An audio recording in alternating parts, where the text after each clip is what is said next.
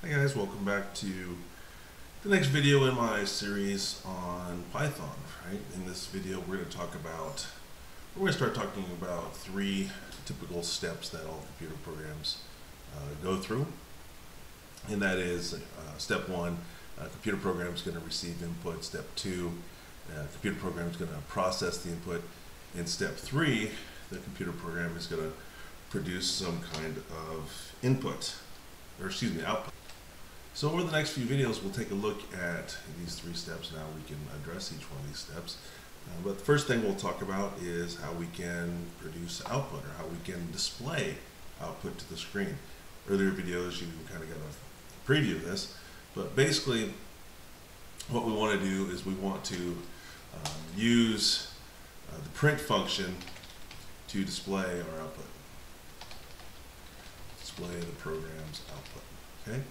And so, how can we um, use that function? How does it how does it work, right? Well, got my interactive mode here. I got a Python shell open, but uh, you know we can type print and then you know hello world, right? Inside of uh, interactive mode, and what we see hello world uh, going back, right? So here's one example of how to use the print function. Okay, so now if we wanted to use print inside of our inside of our program, we could you know, do something like this. Or just have multiple statements. You know, like print uh, like uh, that's me. Print. I live at uh, one two three Main Street, and I live in you know Vermont, uh, California. Vermont, California, um, you know, 92865, right? And uh, so if we put that inside our program, we run our program, then when we see on the screen, well, there's one print statement, there's another print statement, there's another print statement. Okay, so um, the arguments that I sent to this print function are an example of a type of data inside of a Python program. And in this case, this type of data is a string literal. Okay. Now we can enclose string literals in single quotes as we've done here, but Python also allows you to use uh, double quotes, right? So I can do the exact same thing, right? But using double quotes. Main Street,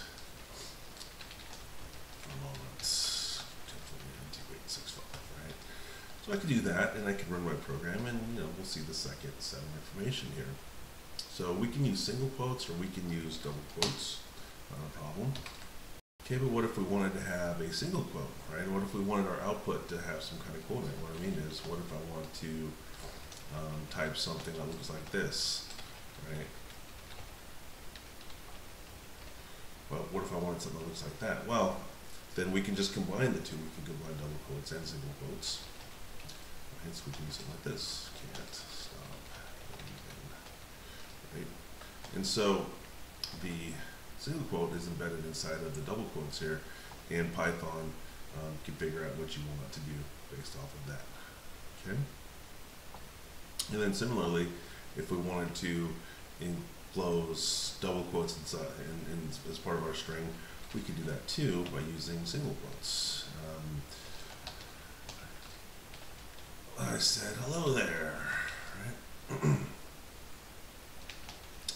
we can see now that, see how we have single quotes on the outside and the double quotes on the inside. Python correctly um, interprets what you want there as well. But we're not finished just yet. Python will allow you to use triple quotes as well. So now I can do something like this. Right? I could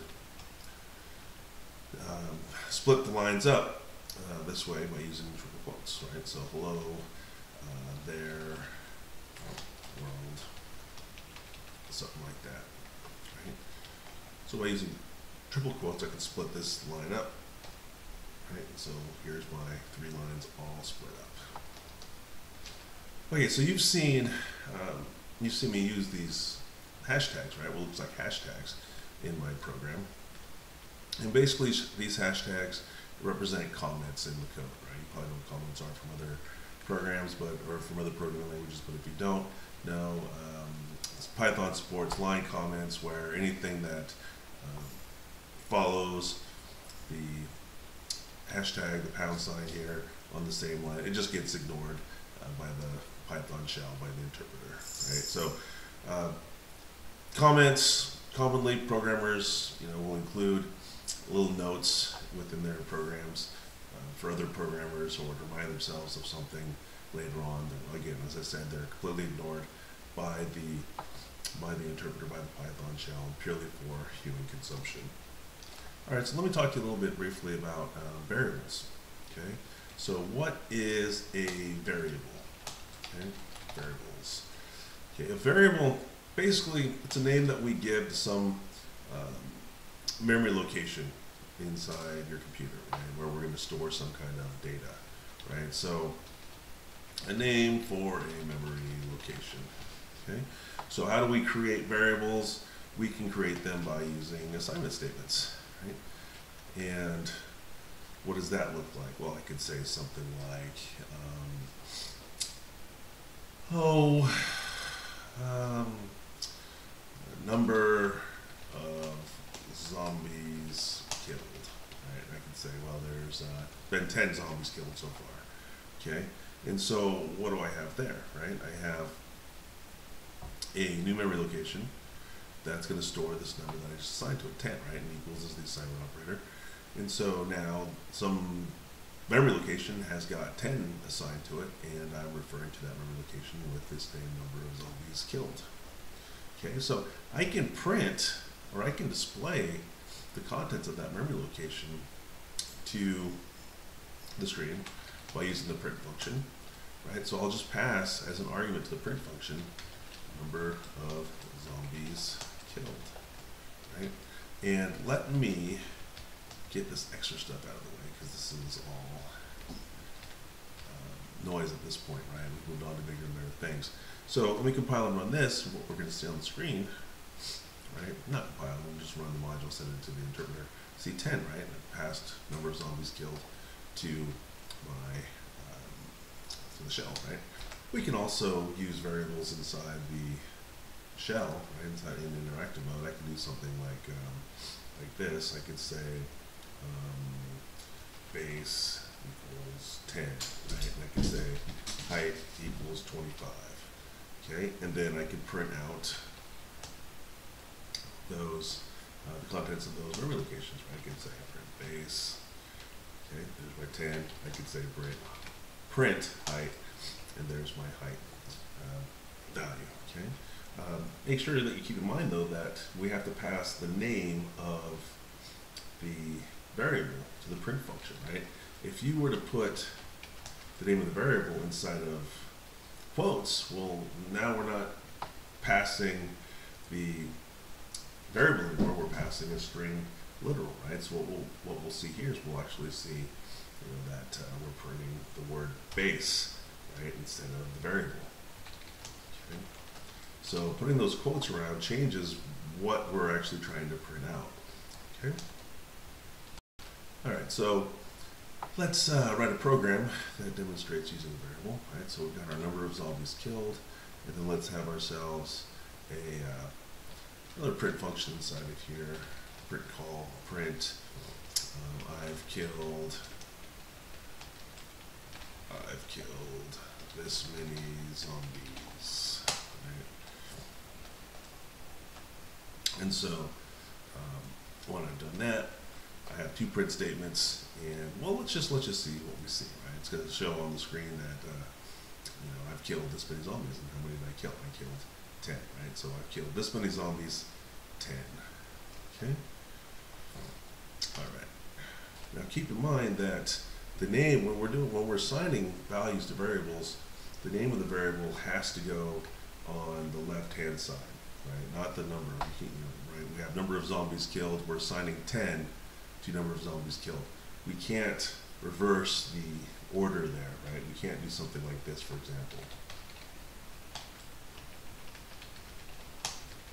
Right, that's going to give us an error. Right? Can't assign to a literal. Okay, we have to assign values or literals to variables, not the other way around. Okay, just a couple more things for this video, then we'll then we'll uh, wrap it up here. Um, another thing you have to keep in mind is that you have to assign a value to a variable, right? This isn't like other languages like uh, C or Java where you can define the variable and then assign something to it later, right? We have to say number of zombies killed equals 10. We have to initialize that variable. You don't get to just declare a variable without assigning anything to it, right? Um, what's going to happen if I try just to say number of zombies killed? There's no value there. There's nothing inside of it. So Python says, well, I mean, there would be garbage, but Python says, no, sorry, you don't get to you don't get to do that, right? So number of zombies killed, not defined. Variable's not defined until you've actually initialized it with something. Okay. Okay, so let me finish up with just giving you some uh, rules for variables and what you can name them. Um, so the rules for variables in Python are similar to rules for uh, naming in variables in any other language, really. It shouldn't be anything new here. Uh, a couple of things that I'll just throw at you. Um, can't use keywords, right? So we'll say rules of naming Python variables, right? Oops, variables. Okay, so can't use keywords as variable names. Right? Keywords are, are words that are reserved by the language for specific uses. For example, if, while, um, you know, for, right? Um, just like any other language where you have certain names that are reserved by language, right? So you can't use keywords as variable names. Okay, another uh, rule, can't contain spaces. Okay, so what does that mean? Something like this, number of zombies killed, right? This right here, not a valid variable name.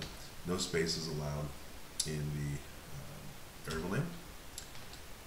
Okay, and number three, okay, uh, after the first character, you can use alpha numeric characters, right? So after the first character, you can use alphanumeric numeric characters, right? What does that mean? Well, it means, you know, characters like A, B, you know, Z, 1, right? These are all valid after the uh, first character, right? Underscores also. Okay. Uh, otherwise, the first character has to be um, upper or lowercase. Um, upper lowercase characters or an underscore. So here's some valid examples. Okay. Gross pay, valid. Obviously, number of zombies killed, valid. Underscore, dog, uh, valid. Um, cat, one, two, three, valid. Okay. What's some example of uh, invalid variable names? Um, let's see here. Invalid. Invalid would be something like one, two, three, cat. Um, using an exclamation point. Um, stuff like this, right? Invalid. okay, and last but not least, the language is case sensitive. Okay, what does that mean? That means that um, number of zombies killed and number of zombies killed are not the same.